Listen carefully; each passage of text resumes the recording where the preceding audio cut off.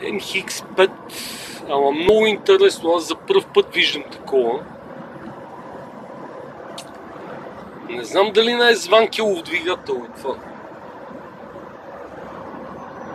Но като цяло е така много.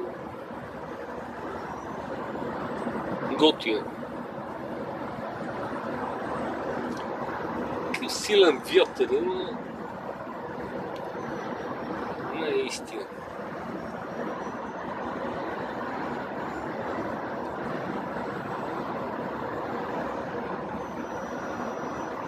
Пред мен се движи един камион на кокел.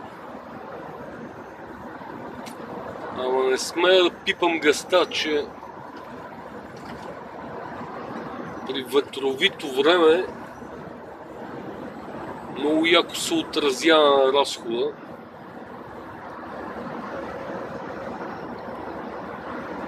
Така. Исках да снимам маздата, но тя избяга.